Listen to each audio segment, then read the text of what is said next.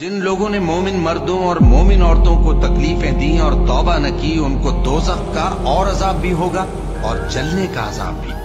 और जो लोग ईमान लाए और नेक काम करते रहे, उनके लिए बागात हैं, जिनके नीचे नहरें बह रही हैं, यही बड़ी कामयाबी है। बेशक तुम्हारे परवरदिगार की पकड़